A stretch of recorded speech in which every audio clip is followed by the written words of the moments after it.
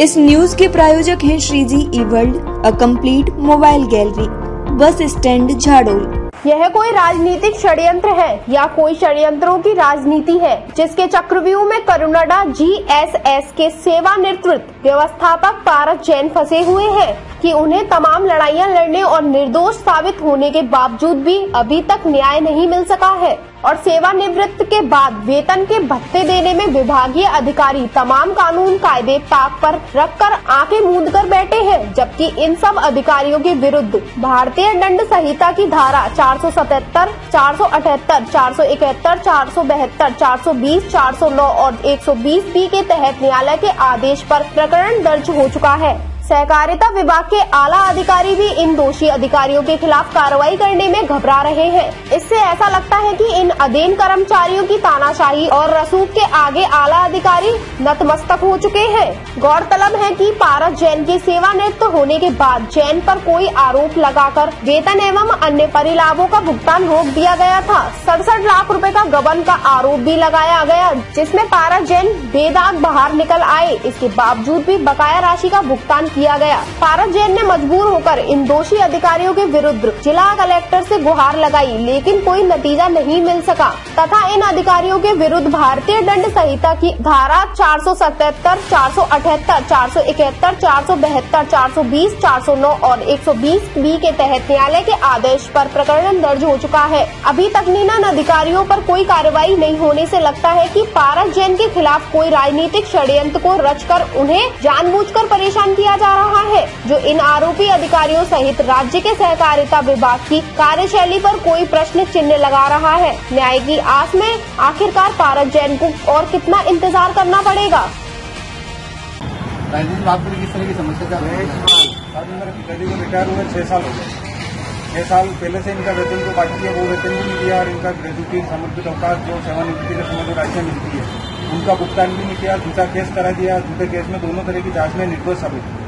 पर अब भी इनके द्वारा न तो वेतन का भुगतान किया जा रहा है, न अन्य राशियों का भुगतान किया जा रहा है। संपत्ति अटैच कर रखी है, उसको भी मुक्त नहीं किया जा रहा है। और मैं साहब हर तरह से परेशान हो चुका हूँ। और जितने भी दोषी अधिकारी हैं, जिन्होंने झूठा मुकदमा दर्ज करवाया, इनके खिलाफ मुकदमा भी दर्ज हो चुका है सदर थाना पुलिस में।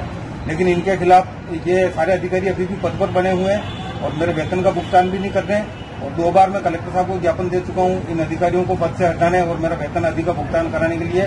परिस्थिति अभी भी दस की दस बनी हुई है। मैं साहब हद से ज़्यादा परेशान हो चुका हूँ। अब मुझे ऐसा विचार आ रहा है कि मुझे कोई ना कोई बड़ा कदम प्रशासन से परेशान होकर उठाना पड़ेगा।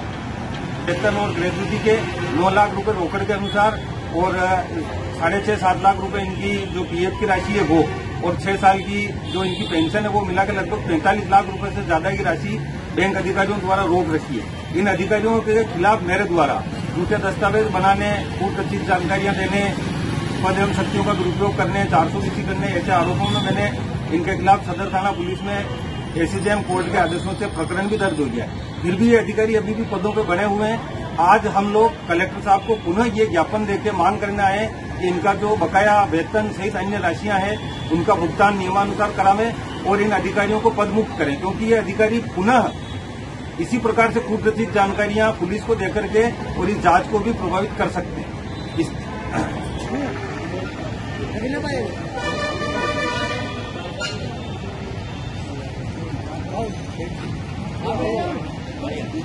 साहब, इनकी सेवानिवृत्ति हुई थी 30 अप्रैल 2016 को और विधिवत रूप से इन्होंने 20 मई 2016 को बैंक के आदेशानुसार नियुक्त किए गए व्यवस्थापक को चार्ज दे दिया था। इसके बाद में साहब, इनका वेतन आदि का भुगतान उस समय यह कहकर रोक लिया कि ऑडिट होने के बाद में आपका वेतन और सेवानिवृत्ति लाभ सारे जारी करेंगे। इसके पश्चात इन्होंने बिना मेरे पिताजियों को सूचना दिए रिकॉर्ड पचास दिन का इनके पास था, वो भी बिना लिए ऑडिट करवा लिया और ऑडिट के समय इनको उपस्थित रहने हेतु तो कोई सूचना नहीं दी उसके पश्चात ऑडिट में जो अंतर राशियाँ आई, उन सारी अंतर राशियों को इनसे बिना कोई स्पष्टीकरण मांगे, सीधे धारा सत्तावन एक की जाँच में दे दिया। धारा सत्तावन एक की जाँच चलते हुए इन्होंने साहब इनके खिलाफ 420 406 में सदर थाना पुलिस में एक प्रकरण दर्ज करवा दिया। एक साथ दो दो कार्रवाइयाँ चल रही थी। पुलिस में प्रकरण दर्ज होने के बाद साहब इन्होंने संपत्ति भी अटैच कर ली।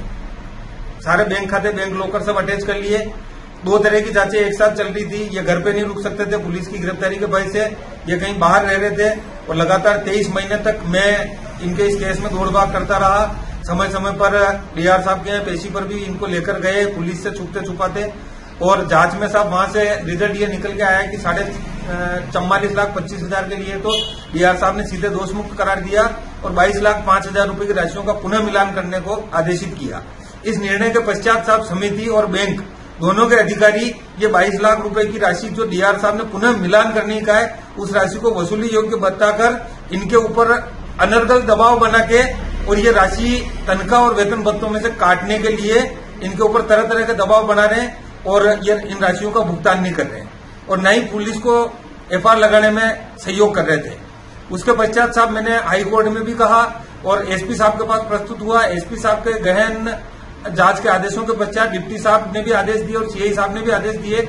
उसके बाद में इसमें साहब गहन जाँच हुई और उस प्रकरण में इनके खिलाफ एफआईआर लग गई। एफआईआर लगने के पश्चात साहब मैंने इन सारे अधिकारी, वर्तमान व्यवस्थापक, तात्कालिक सुपरवाइजर, तात्कालिक एमडी, वर्तमान एमडी, तात्कालिक डीआर, जाँच अधिकारी, ऑडिटर, इन सबके खिलाफ साहब हमने कोर्ट में इस्तगासा प्रस्तुत किया, जहाँ से कोर्ट के आदेशों पे चार सौ सतसठ चार सौ अड़सठ, चार सौ इकहत्तर, चार सौ बहत्तर, चार सौ बीस, चार सौ नौ और एक सौ बीस बी के तहत एक प्रकरण दर्ज करने के आदेश सदर थाना पुलिस को कोर्ट द्वारा दिए गए, जो प्रकरण क्रमांक तीन सौ चौपन ओब्लिक दो हज़ार बाईस दर्ज हो चुका है और पुलिस द्वारा उसमें जाँच की जा रही है। परंतु अभी तक भी ये अधिकारी अपने पदों पर बने हुए हैं और विभाग द्वारा इन आरोपी अधिकारियों को अभी तक पद से नहीं हटाया गया, जबकि इनके ऊपर अति गंभीर धाराओं में न्यायालय के आदेशों से प्रकरण दर्ज हो चुका है।